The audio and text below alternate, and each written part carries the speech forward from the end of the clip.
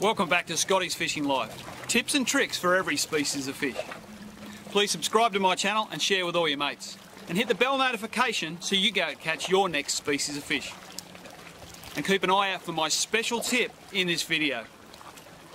And hey guys, check out our other YouTube channel, The Hook and the Cook, with my good mate, Paul Breheny.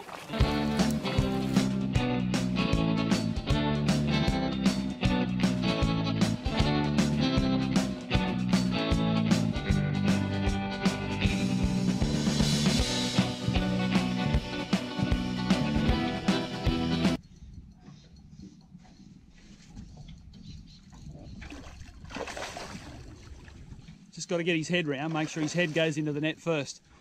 Most important when you're putting a fish in, a, especially a big fish in the net, that you get his head in the net first, especially with flathead.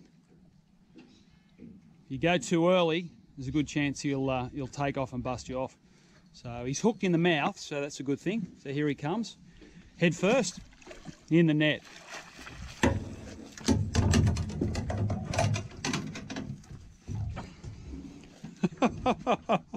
Absolute ripper.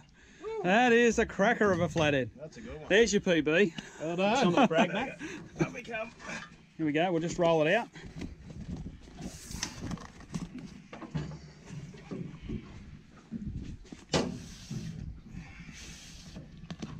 A little more. A little more. There we go. What do Slide reckon? forward a little bit more. Yep. Bang on Beautiful fish. 80 centimetres. There we go. Ah. Lovely fish, mate. Lovely fish. All right, let's get it back in the water. Yep. There we go.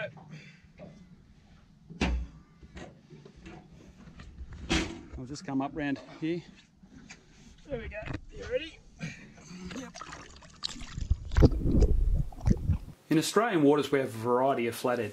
And this guy here is the dusky flathead. He grows larger than any other species of flathead. And he's clearly identified by a black spot on his tail, as you can see here in the blown up image of the dusky flathead. This one over here is a southern blue spotted flathead's tail, and you can see the markings are quite different. So that's a great way to tell the difference between species from the markings on their tails. Now the dusky flathead's distribution is from Cairns in far north Queensland, down along the Queensland coast in bays, rivers and estuaries in the salt water and also along the ocean beaches, and down through New South Wales, the same, and Victoria to the Gippsland Lakes area. Now I've caught quite a few flathead off the coast of Sydney in 30 to 40 metres, but not in big numbers. Flathead love the bays, rivers and estuaries, and sandy drop-offs and weedy areas are a fantastic area to target your flathead. And they respond really well to small live baits like poddy mullet and prawns. Love worms and other baits, but also respond really well to soft plastic lures and hard bodies. And for many years, many anglers have cut their teeth on flathead as they're a fantastic table fish. There's two simple methods I love to use when drifting for flathead. One is the soft plastic. Now these have proved themselves over the last few years deadly on flathead.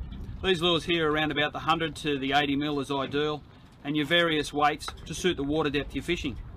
Now while we're casting the soft plastics around in search of flathead, another deadly method is a strip bait on the bottom.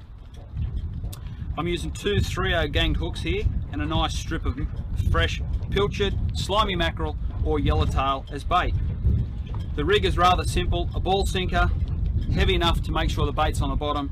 Trace of anywhere from 600 to a metre and a half is fine to a swivel. So very similar to the bream rig, but as long as your bait's on the bottom, works fine for flathead.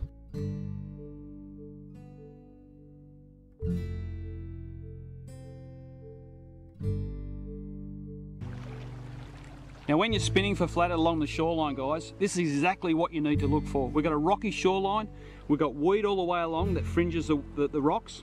Beyond that it drops out a nice sandy bottom into deep water. And hugging along the weed here I can see plenty of bait. So just walk along here and prospect with your lures, casting and walking, and I tell you what, you'll get good results. Now the way we work our lure when we're targeting flathead along the shore, we just cast out over your drop off. Allow your lure to sink to the bottom. And then a simple lift, pick up the slack and allow the lure to sit back on the bottom again. Take up the tension again, lift, pick up your slack and allow the lure to sink back down to the bottom. Now this will vary in depth, different depths of water.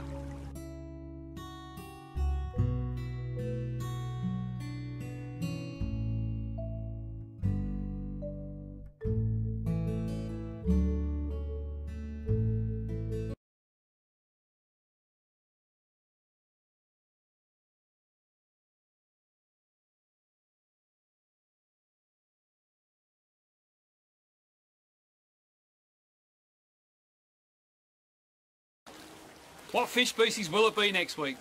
Tune in and please subscribe. Cheers guys.